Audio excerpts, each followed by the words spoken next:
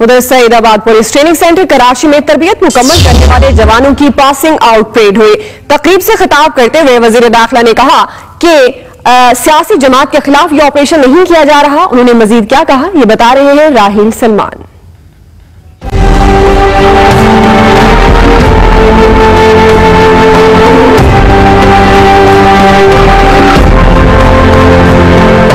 Saidabad police training centre में passing out parade से खिताब करते हुए वज़ीर दाखिला सिंध, सुहेल अनवर सयाल ने कहा कि कराची में ऑपरेशन किसी सियासी जमात के खिलाफ नहीं किया जा रहा।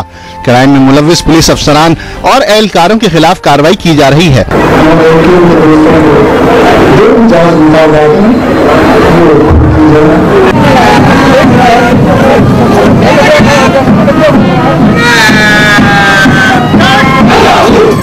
पासिंग आउट के मौके पर सईदाबाद और उसके अतराफ में सिक्योरिटी के सख्त बंदोबस्त किए गए। परेड की तकरीब से खिताब करते हुए आईजी सिंध गुलाम हैदर जमाली ने कहा कि पुलिस ने हाल ही में हाई प्रोफ़ाइल केसेस भी हल किए हैं। दौरान ट्रेनिंग जवानों को मुकम्मल पुलिस अफसर बनाने के लिए उन पर भरपूर मेहनत की गई।